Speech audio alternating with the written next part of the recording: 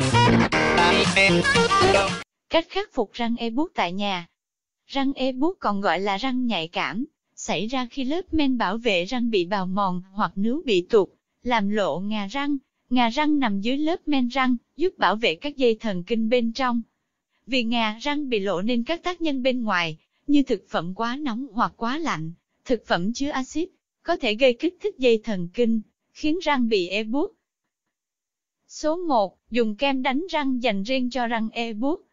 Loại kem đánh răng này có chứa các hợp chất, giúp che chắn các đầu dây thần kinh khỏi tác động của chất kích thích. Thành phần hoạt động mạnh nhất là calinitrat, một hợp chất ngăn chặn tín hiệu đau truyền từ một dây thần kinh trong răng đến não của bạn. Một số thành phần khác là canxi, natri, silica và phát pho. Sau một vài lần sử dụng kem đánh răng dành riêng cho răng e-book, độ nhạy cảm của răng sẽ giảm dần. Các bác sĩ cũng khuyên bạn nên dùng bàn chải đánh răng có lông mềm, và dùng kèm thêm nước súc miệng có hàm lượng axit hoặc fluoride thấp. Số 2. Súc miệng với dung dịch muối loãng. Muối được xem là chất khử trùng hiệu quả nên giúp giảm viêm rất tốt. Để giảm bớt các triệu chứng đau từ răng nhạy cảm, bạn hãy súc miệng bằng nước muối ít nhất 2 lần trên ngày. Cách thực hiện như sau. Thêm 1 phần 2 đến 3 phần 4 thìa cà phê muối vào một ly nước ấm, và trộn đều.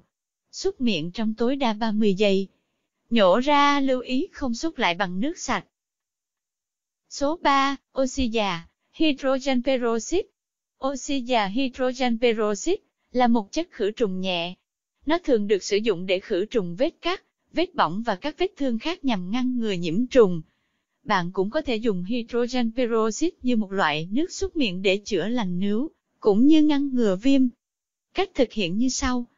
Cho một thìa cà phê hydrogen peroxide vào nước ấm, trộn đều. Xúc miệng trong tối đa 30 giây.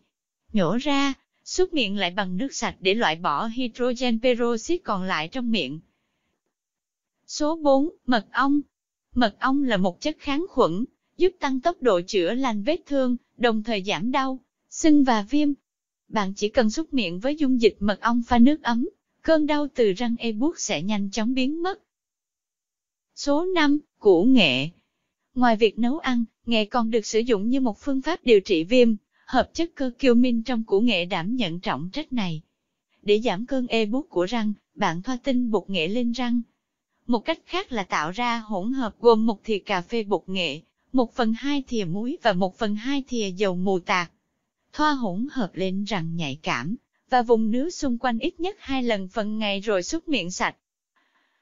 Số 6. Trà xanh Trà xanh được sử dụng rộng rãi trong công cuộc phòng tránh ung thư và nghiên cứu sức khỏe tim mạch nhờ tác dụng chống oxy hóa, chống viêm. Chẳng những vậy, trà xanh còn giúp ích cho sức khỏe răng miệng. Để đối phó với tình trạng răng ê buốt, bạn sử dụng dung dịch trà xanh không đường như nước súc miệng hai lần trên ngày.